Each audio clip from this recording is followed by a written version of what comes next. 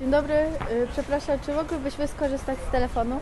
Bo mama jest w pracy, a my nie mamy kluczy do domu, a i chcemy zadzwonić.